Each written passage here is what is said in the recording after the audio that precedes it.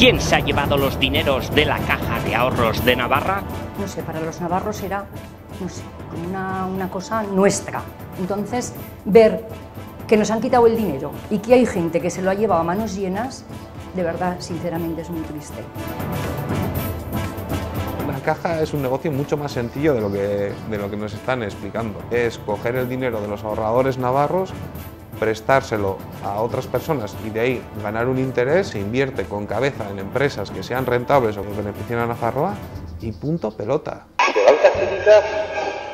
A todos los gestores de las cajas les tenemos que exigir una responsabilidad, porque claro, le echan la culpa a la crisis, bueno, pero ellos han participado en buena medida en la crisis, la crisis no vino sola. Cuando Caja Navarra estaba desmoro- desmoronando literalmente, cuando ellos estaban en los consejos de administración viendo que realmente el negocio estaba tambaleándose, si no literalmente ya devaluado y depauperado, ellos a la vez, en un cuarto anexo a esa misma reunión, se juntaban para concatenar reuniones y en una hora cobrar la friolera de 5.500 euros. Mientras estaban pidiendo esfuerzos a, la ciudadanía y mientras aún sigue pidiendo el actual alcalde eh, como imputado, pidiendo esfuerzos a la ciudadanía, cuando se está constatando que estaban en la caja, no sabemos eh, qué tipo de decisiones tomaban y si- ni siquiera si tomaban eh, algún tipo de decisión, pero lo que sí sabemos seguro es que se han lucrado de eso.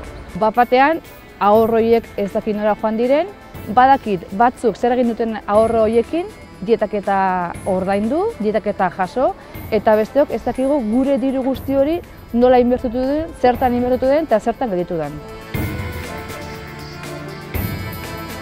Los responsables, ¿quiénes son? El equipo directivo, pero por encima del equipo directivo, el, el Consejo de Administración. Del mismo modo que las personas se enferman, enferman las empresas y enferman las sociedades. Caja Navarra en los últimos tiempos era una empresa enferma.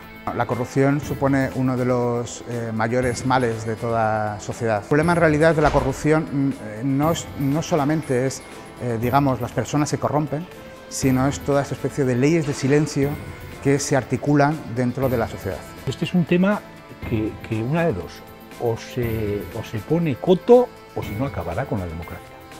La corrupción, si se convierte en un sistema, acabará con la democracia.